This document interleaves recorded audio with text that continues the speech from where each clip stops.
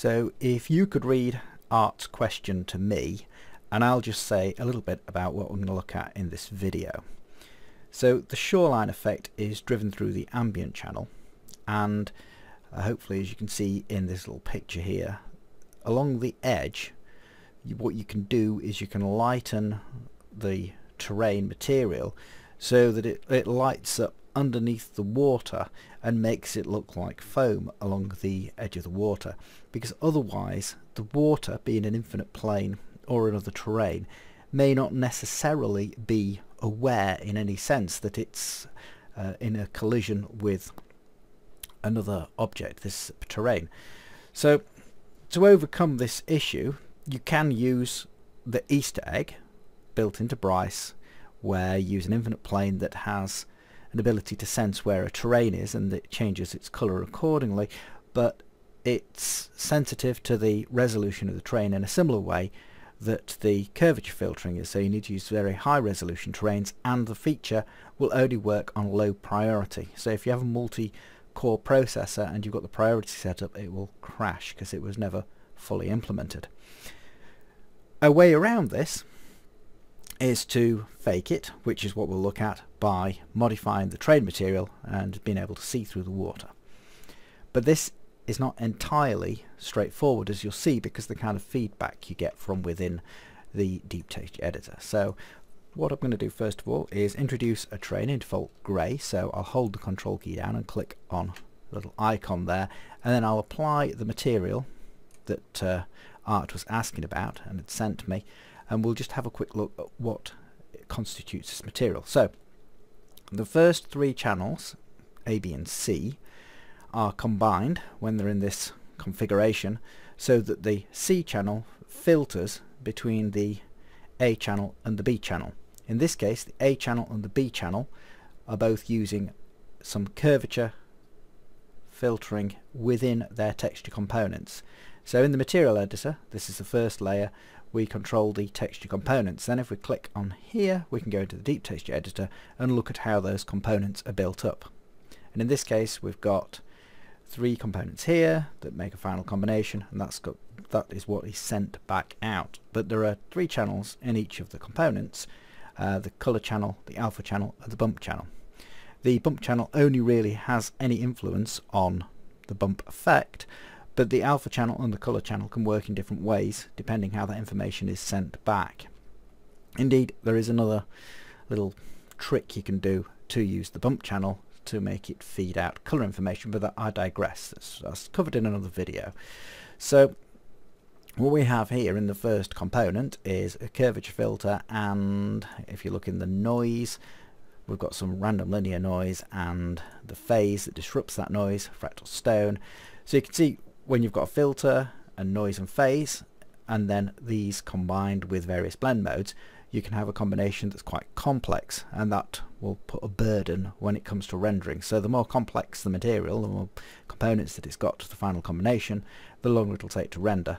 And likewise you have a similarly complex arrangement here and then the filter is only using two components. You can turn on how many components it uses with this little control here. And the black and the white then select between the A and the B channel. And this gives us uh, a, a texture rich and responsive material with the curvature. So depending on the geometry you get different curvature effects. Depending on the slope you get different curvature effects. So this is a, the advantage of procedural materials although difficult and time consuming to set up they respond to the terrain that you provide through these filters which means that you get different effects with different terrains. Whereas if you were to just use a texture, an image texture, while you might be able to apply that quite simply because you use an aerial photograph with some pictures of some fields, they will just tend to repeat. So if you don't have a very high resolution texture and you have to line them up next to each other, the re repetition becomes obvious and the fields will not in any way respond to the terrain you apply them to. So if you apply a picture of fields over a mountain, you just get fields stretched into a mountain shape.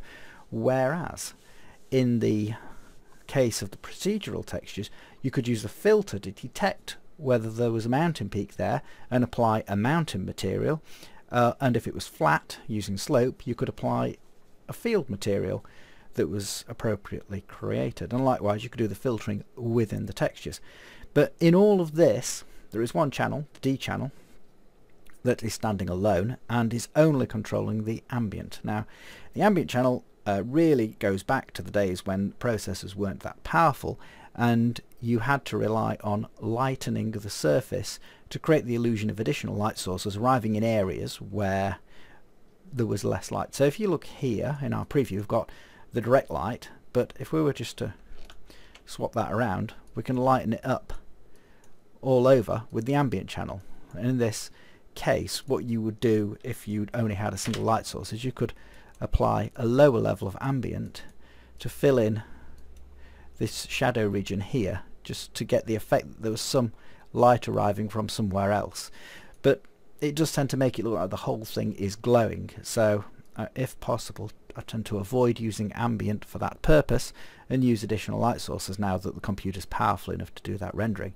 And you can then use the ambient channel for something else like a special effect. And in this case this is where the shoreline effect is coming in here. You might be able to see a bit of white underneath there. So, so we're at full white for the ambient. So maybe we can see a bit better in this example. Oh yes, there we go. So I'd already turned the ambient up from its default, which was grey, uh, but the preview doesn't really show very much. Image is quite small. But you can see the white area here. So the idea is, is you sink this into the ground, the white area stays in the same place. Okay, I'm going to make I'm to make the train a bit bigger and move it away, so again there's a bit more of a sense of scale. You can see now that it's sort of giving us the effect, but we we need this plane here to be water, so I'll make this uh, transparent and give it some refraction. Then we can we can see maybe, depending on the camera angle, we can see through the water, and you can see that it's lighting up underneath and then you can see the ground underneath which is where we were going with this effect.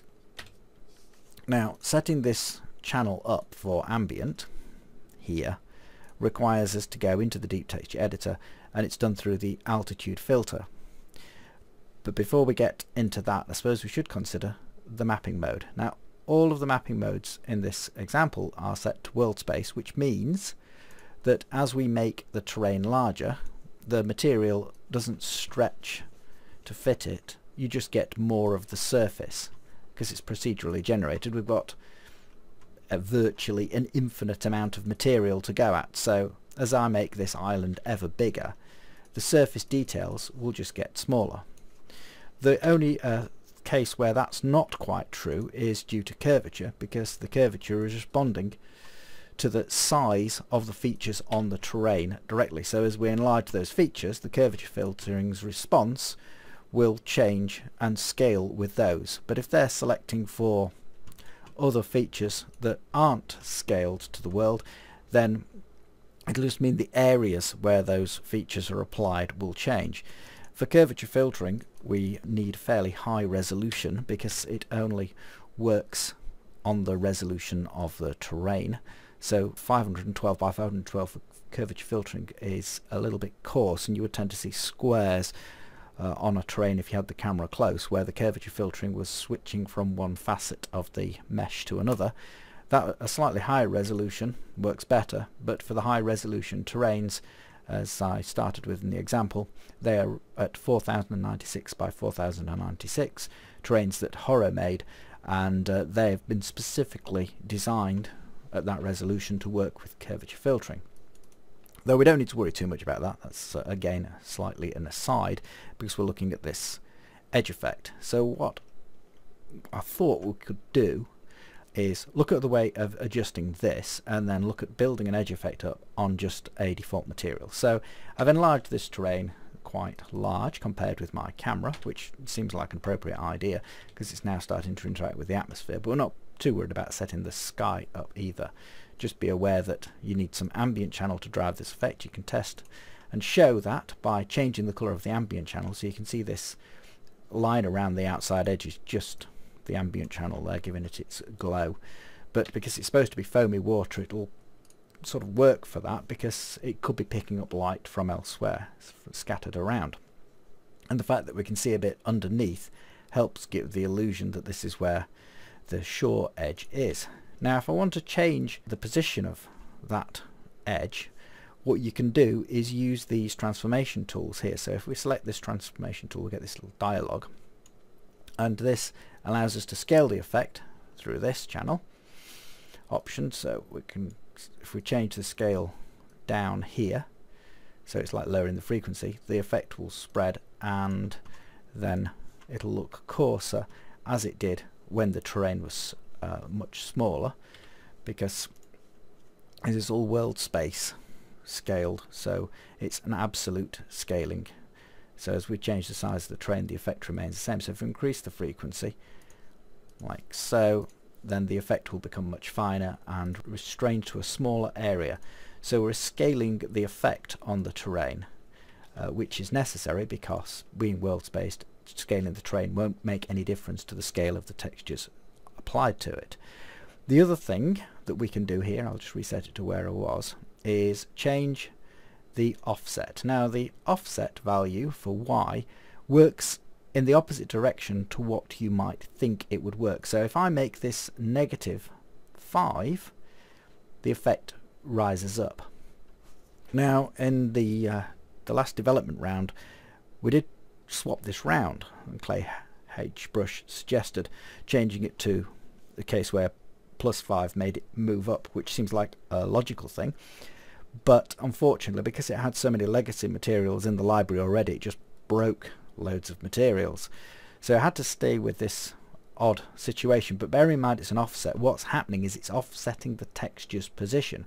So the 5 position here is having minus 5 applied to it so that would make it 0 so this point is now behaving as it would if as if it was the origin height. So that would be zero so when it's here which as you can see is the case. So that explains how the offset works but just try and remember that it works backwards to the way you think it's going to work. So to raise the level up make it go negative and to push it down you make it a positive. So if we raise this up and we're out of the preview but it still might be visible on the terrain because the terrain's so much larger now. So you can see the shoreline has effectively through applying minus 12 moved up the terrain.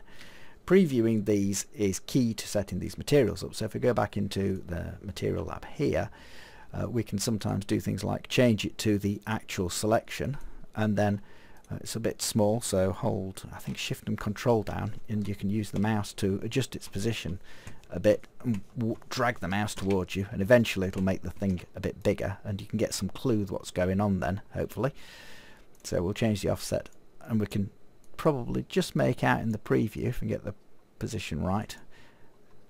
If I use uh, turn render with neutral sky off we can get to see it in the actual sky and the haze is now getting in the way so I'll just alt key the haze intensity off and then go back into the material and now see if I can see where the see just before anti-alias is where that band is uh, so we can position that up and down accordingly. If I lower the frequency again it'll broaden it. So if I go like so, see if I can see it now. Okay, here, here the issue is that a combination of things has occurred. I've lowered the frequency so it's broadened the band but now it's scaled out of sight so if I bring this back down again it'll probably reappear at some point and we can go back to positioning it. Let's see. If I bring it back down to zero, I'll be able to find it again. Oh, there it is. It's too broad. So, at 1% there, go negative, you can see its position now. So because it's a scaling factor, you'd have to decide that that was the scale you were going to have it at. So what I think you can quickly glean from this is it's quite fiddly to adjust the altitude and it's quite a coarse control if you use this texture control here. You can change it to object space which will then mean that the entire object is being dealt with and the zero points where the base of the object is which is currently under the water and you can try and work it that way but then because this scaling combines other effects so one of these is going to have a, a, filter effect in it somewhere. Here we go stucco noise to create the patchiness in the edge of the wave. Uh, this will then be scaled to object space which means the effect will scale when you make the train larger or smaller which might be a little bit inconvenient because if you start chaining islands together and you enlarge them and shrink them, the water edge effect you want to be consistent for the entire water surface because the edge effect is trying to fool you into thinking that it's the water that's creating the foam, not the terrain. So you don't want the foam to change size with the size of the island. So this is the reason I've avoided using object space, though it's easier to position things using the altitude filter in object space and stuck with world space, which is a little bit fiddly. The main reason it's fiddly is because, as you can see with the altitude filter, you can't see any output from this filter. You can't see where it's adjusted to. It's uh, in an extreme range, and that was to place the uh, the band uh, in a quite a narrow position.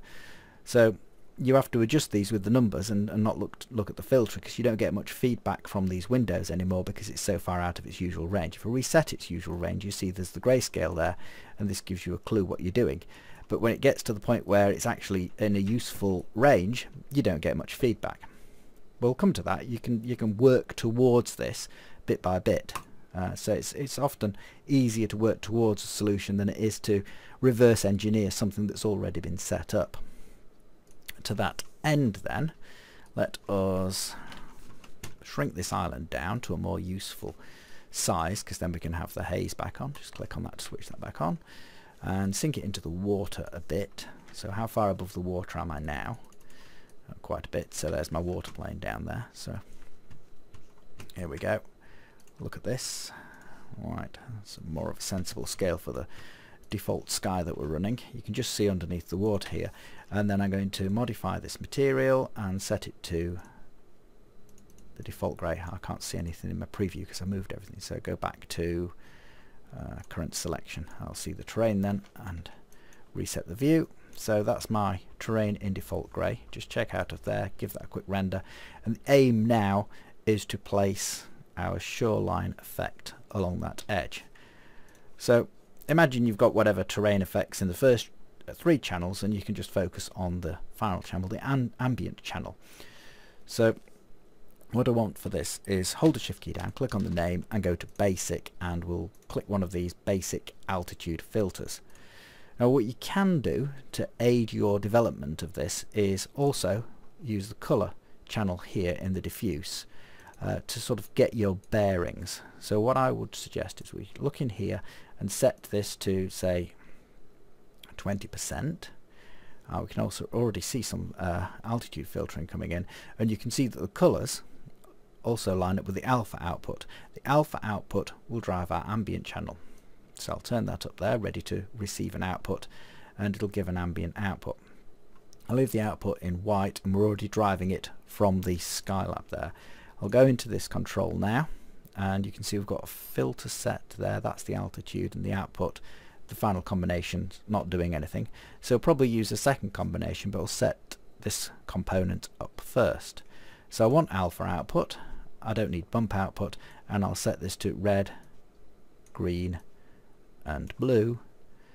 Go to the filter and lower the altitude. If the filters are not visible, click on these corners where these dots are and the noise, phase and filter output uh, will the controls will appear and that'll let you adjust things. So you can see now I just wound that control up and it's pushed that down. So this is our zero point and then there's some colours there and if we look at the alpha output we've got black and white there. So check out of that and check out of that and we'll see what we've got.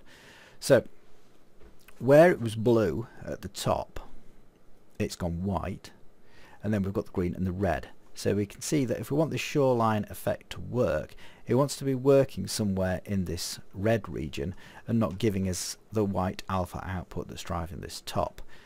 And the red region's not too bad for this scale already, but you can see it could do with being compressed down a bit further. So go back into the DPTX editor and look at this potential for compressing that further. So I could wind this control up here, you can see it's pushed the red down, but it's not the output we want. We want this to be a, a white colour. So we can do this by changing things around. So we could go and drag that one across to here, go uh, subtract, and then if we if we take that away from this and we make this all white for example. This is one possible solution here. So all I need to do is set this up so that it's going to be all white. Actually I can just do that with nothing in fact. I don't need to even go that complex at the moment. And I'll just set this one to sine reset that and lift that side of the filter up. It goes white at the bottom there. And if I check out of that check out of that now what we've got is a white edge just there. That's gone yellow. And the reason for that changing colour there is because I switched the colour channel off. So I switched the colour channel back on but don't turn that one on because that'll be a subtraction then it'll get complicated. I should be able to show that we've now got the blue at the top and the white at the bottom. Okay it's not looking much like the foam and we've also got the issue that it continues to be white underneath the water and we really want it to stop there in a band so this is where we could instead of using just a full white here for example we could change this and use altitude again. So we're going to use nothing. The thing is if we use sine we get patches. And if, if like I did before maybe maybe stucco noise for example and make that 2D or 3D then we get patches in this. I'll just reset that. So when we subtract the two we get blobs and uh, I'm going to change this to altitude reset that. And and then, then we've got these blobs that we can control with the altitude filter here and keep them low down. So that gives gives us a patchiness to our foam effect. So those patches probably a bit large at the moment. So I'll go into the material here and then go into the noise here and increase the frequency. See, um, there are quite a few other videos there for how you adjust the things in the deep text editor. I'm trying to keep things focused on positioning this foamy edge effect. So because the altitude filters combining with one another, I've now got it so that the foam cuts out as it goes deeper, but it's still a bit on the broad side. So what we need to do now is narrow it to the very water's edge. And that can be done using these controls, for example. But uh, I just need this on the actual selection, I think. If we can see on the actual selection, here we go, with the island. And it's too far away, so hold the control and the shift key down and wind the camera in closer. And then try and position it so we can see a bit of the shoreline. That's that's not the easiest thing to do. I'll wind it back again. Right, you can see that edge there, but we can't see under the water, so I'll have to switch that to not rendering with the neutral ground. Could try increasing the frequency of the uh, the scaler here, so it should make making the band narrower, and then I can move it up and down using this control. As I say, negative. It's it's actually lifted it up there, which is what I was looking for. So what I'm trying to do is scale these two so they hit the edge there and then it's actually gone a little bit too high I, could just cheat and at this point lift the water off the zero point which would be a valid way of doing it but if you want to make a universal material for this uh, and, and to work easily then it's probably better to adjust it so everything's on the zero point so what I shall do is lower that back down to the point where it's just going under the water. So let's see how that looks now. Okay, so I've now got the shoreline coming up the edge a bit and going under the water.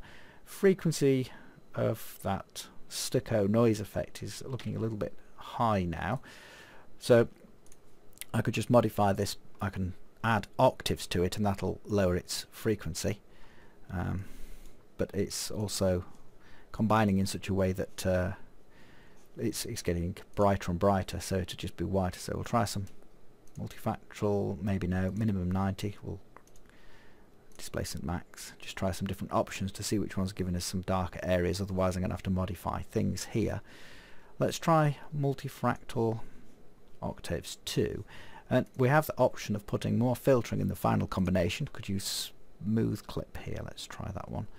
And then reset that filter and then I can reduce the effect of that through the filter. Now here's a little bug I've never got to the bottom of. Sometimes the filter image disappears altogether and then reappears when you modify the channel on C which doesn't do anything except for quantization I think.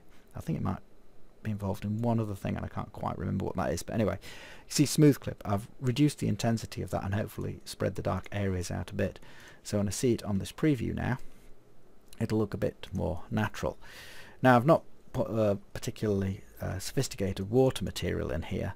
So it looks a little bit sharply defined that edge but if you have a water material then we'll just uh, get the water here and modify this. So if you get the water material and say made it um, a volume material so it got darker or just added some transparent darkness to it let's see. It's going to be difficult add in the volume channel as well so make that dark blue then the the lightness under the edge is is not so affected.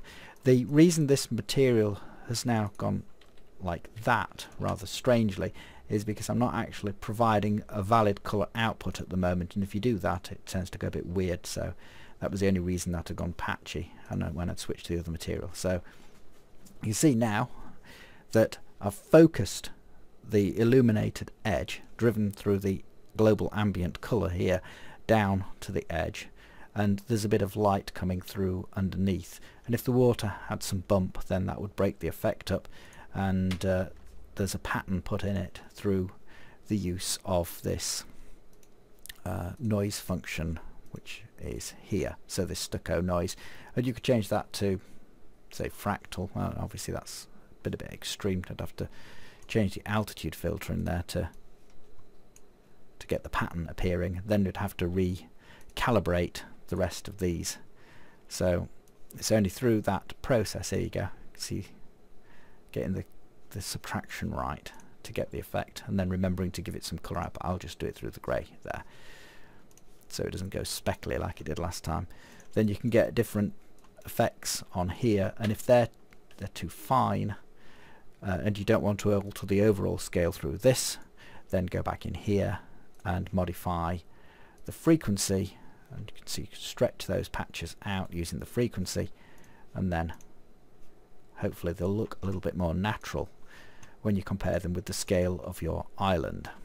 So I hope art that has helped you but you can always provide me with more, more questions uh, relating to this topic but as you can see it's it's quite involved but if you pick it apart into its separate components and work on each one individually and provide yourself with some um, guides by using the color output then uh, you can position these things and then and then work on the individual bits one at a time and sort of work your way towards a solution which is how I go about it when I produce these materials. Okay then, cheers now, hope you found that interesting and useful and uh, you'll be experimenting with this in Bryce 7.1 Pro. Cheers.